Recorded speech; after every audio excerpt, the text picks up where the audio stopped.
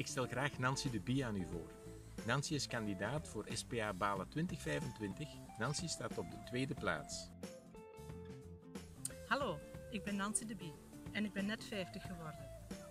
Ik ben de dochter van Willy de Bie en Marie-Jeanne Broeks.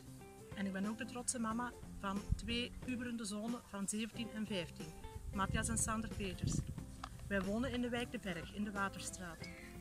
Sinds een paar jaar ben ik ook actief als OCMW-raadslid en daar wil ik me voor blijven inzetten. Want ik weet uit ervaring dat het leven niet altijd loopt zoals je gepland hebt en dat er niet veel nodig is om in de problemen te geraken. Daarom is een sterk sociaal beleid met aandacht voor alle doelgroepen nodig, zodat er niemand uit de boot valt. Zo gaan we samen zorgen voor een warm en sociaal balen.